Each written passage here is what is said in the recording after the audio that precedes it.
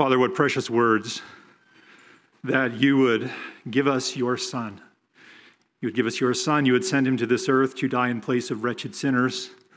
Lord, he would ascend to heaven and he is coming back to rule and reign on this earth. I pray as we remember your Son now, you would grant us your grace that we would do it well. We would do it according to your word, and I pray it in Christ's name. Amen. Well, this is the point in our service where we take some time to remember Jesus around his table.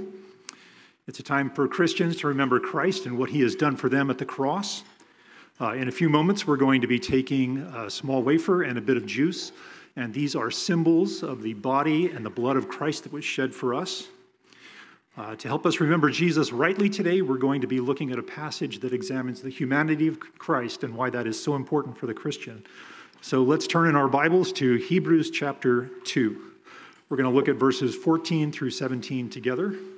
Uh, some men are going to be coming down the aisles. If you don't have a Bible, simply raise your hand and they'll get one to you. Uh, if you don't actually own a Bible, we would love for you to keep this for yourself so that you can begin reading God's Word for yourself.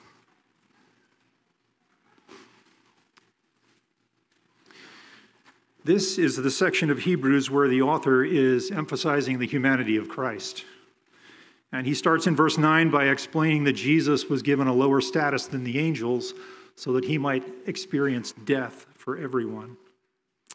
Then he explains that God used the suffering of the cross to perfect Christ. Now, it's not that there were any deficiencies in Jesus' character, there was no sin that needed to be overcome. Rather, the idea behind perfect here has to do with completeness, and that Jesus was going to add to his sinlessness and his righteousness and his holiness the experience on the cross where he would suffer in place of the sinner. In verse 12, the author quotes Psalm 22, which is foretelling the words of Jesus I will proclaim your name to my brethren.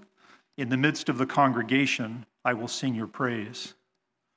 So the author is building the case that Jesus had to become a man. So let's read our passage to understand why that was. Starting in verse 14. Therefore, since the children share in flesh and blood, he himself likewise also partook of the same that through death he might render powerless him who had the power of death, that is, the devil, and might free those who through fear of death were subject to slavery all their lives.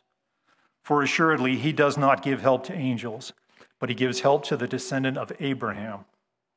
Therefore he had to be made like his brethren in all things, so that he might become a merciful and a faithful high priest in things pertaining to God, to make propitiation for the sins of the people. We see in verse 14 that Jesus possessed the same human body that the rest of us do. He partook of the same flesh and blood. And this was necessary for Jesus to have this body because it was a requirement for death. In order to experience death, you have to have a body to experience that death with. And there are benefits from that, and we see two of them starting in verse 14 and continuing into verse 15. The first has to do with Satan and his power of death. Now, prior to salvation, the unbeliever is held captive by Satan to do his will. This makes the sinner unable to repent from their sin and unable to turn to Christ. The sinner remains in a spiritually dead condition, and permanent spiritual death is awaiting them. But after experiencing the cross, and Jesus actively entered into death. He didn't succumb and give in to death, he actively entered into it. And he entered into death so he could conquer the death and he could conquer the sin that was the cause of that death. And Romans 6 tells us that his resurrection from the dead is what gives the believer the ability to walk in newness of life. So no longer is the sinner held captive by Satan. Instead, they have a new master. His name is Christ, and he is the one who frees them from Satan's power and enables them to live in newness of life. That's the first reason why it was important for Jesus to experience death. The second reason is in verse 15, and it has to do with the prospect of death that is looming over the sinner. Most people have some understanding for that for people who do bad things in life, after this life is over, some form of punishment or some form of judgment awaits them. But apart from what God has declared in Scripture, people really don't know whether they will be judged or whether they will be spared. And that's a problem. And that creates a great sense of fear. And people become enslaved to that fear. And this is what the author is getting at in verse 17. God's wrath against the sinner will be poured out, but if it isn't going to be poured out on the sinner, it must be poured out on a representative of that sinner. And this is where Jesus' death comes into view. Verse 17 describes Jesus as a faithful, as a merciful high priest. And there are two distinguishing characteristics of a priest and a high priest. And the first is their service. Their work is a work of service. Whenever they work, they're doing a service to others that are not qualified to perform that work. But the second thing is that their work is representative. They're working on behalf of others, they represent others. At the cross, Jesus represented those who acknowledge that they are a sinner and their sin makes them very needy of a Savior. They have offended a holy God. They need a Savior. And Jesus, because He's the Son of God, is the only one who can save them from their sin and their penalty for their sin.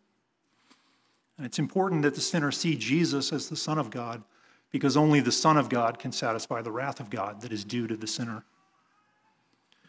So, this passage tells us that Jesus was faithful. This is the last thing I want to touch on this morning. This is so encouraging to the believer. He was faithful, not only his willingness to go to the cross and obey the Father in going to the cross, but he was faithful to remain on that cross the entire time his Father's wrath was poured out on him against everybody who would believe.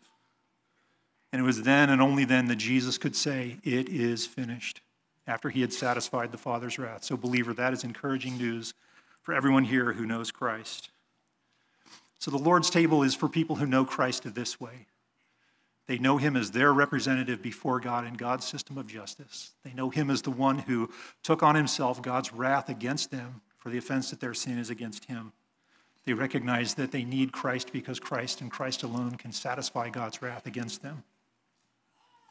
If that is you today, I encourage you to join us together as we take the communion elements. When the elements come to you, take them and hold them and consider Christ this way.